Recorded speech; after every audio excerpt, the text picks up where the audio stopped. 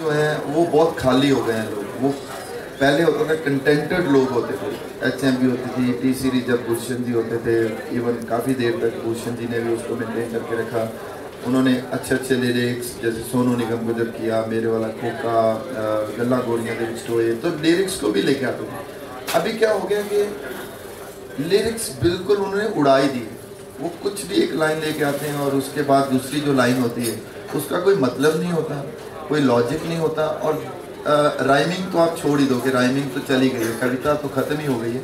مگر اس میں vulgarity forcibly ڈالنے کی کوشش کرتے ہیں۔ ان کو لگتا ہے کہ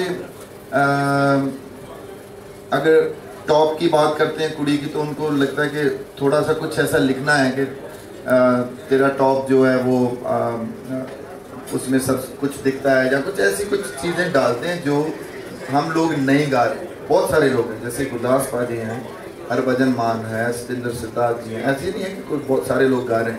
سردول سکندر ہے ہنس راج جی ہیں، بہت سارے لوگ ہیں۔ ان میں میں بھی تھوڑا شامل ہوں، ان کے پیچھے پیچھے ہوں کہ گندا نہیں گانا ہے۔ گندی کوئی بھی چیز جو ہے، اس کو پروموٹ نہیں کرنا ہے۔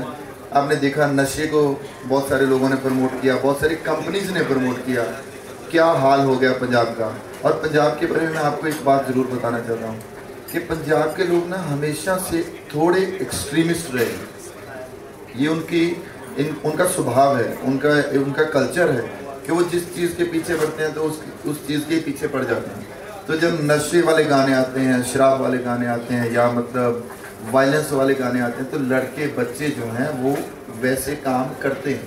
یا آپ نے بہت ساری ویڈیوز دیکھی ہوگی تو دین پنجاب نشے میں ڈوبا۔ میرے خیال میں میں بھی اس میں شامل ہوں سنگرز کمیونٹی کے اندر یا جو آرٹسٹ کمیونٹی کے اندر۔ اگر ہم نے ڈالا ہے ان کو تو ہم نکالنا بھی ہمارا فرض بنتا ہے تو کوشش کر رہے ہیں کہ اچھے گانے جو ہیں وہ لوگوں تک پہنچیں۔ اتفاق رکھنے کی جو آپ نے بات پوچھی وہ